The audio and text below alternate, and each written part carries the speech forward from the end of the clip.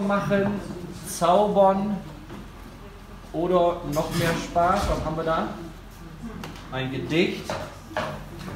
Ghetto-Faust kannst du auch machen. Aber das machen wir ähnlich, machen wir keine Ghetto-Faust. So, haben wir hier Alter. Witze erzählen oder Alter raten. Vera, bist du dafür bereit? Wenn du meinen Kopf berührst, versuche ich dein Alter und deine Emotionen zu erraten. Kopf streicheln. 73. Und deine Emotion ist wütend.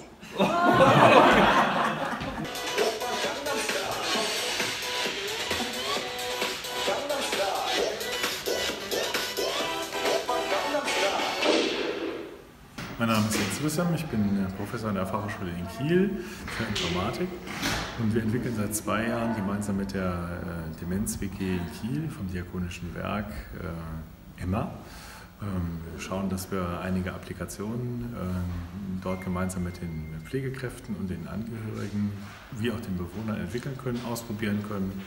Und ja, uns macht es unheimlich Spaß, äh, das tun zu dürfen. So, jetzt haben wir hier, wir haben hier ein Gedächtnisspiel, ein Memory-Spiel. Das war auch nicht schlecht, ne? Lass uns sehen.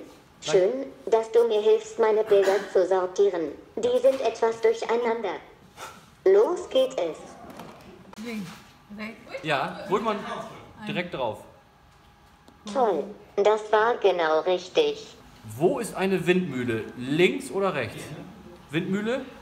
Toll.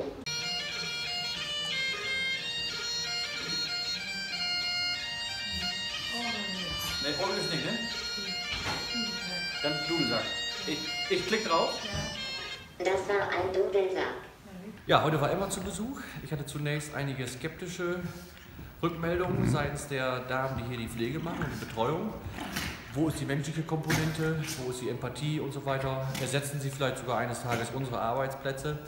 Aber alle Befürchtungen sind im Winde zerstreut. Wir sind alle sehr angetan. Emma kann die Bewohner durchaus auf eine ganz tolle Art und Weise unterhalten, mit Musik, mit, mit einem Lachen, was sie kann.